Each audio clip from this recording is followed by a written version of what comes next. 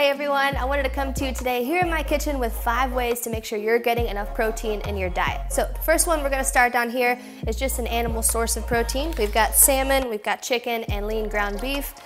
Moving down, more of a plant-based option, we've got some beans, garbanzo beans, black beans, and lentils, of course, very high in protein. Moving down to something that I try to consume daily is dairy. We've got Greek yogurt, cottage cheese, string cheese, and Babybel cheese. I know a lot of people kind of forget about cheese and dairy products as being high in protein, but that's a great place to start for snacks. Uh, moving down to the fourth one, one of my favorite breakfasts is eggs. You can also throw these in your salads. And then lastly, if you need a little bit of supplementation, you can move down to a plant-based or a whey-based protein supplement.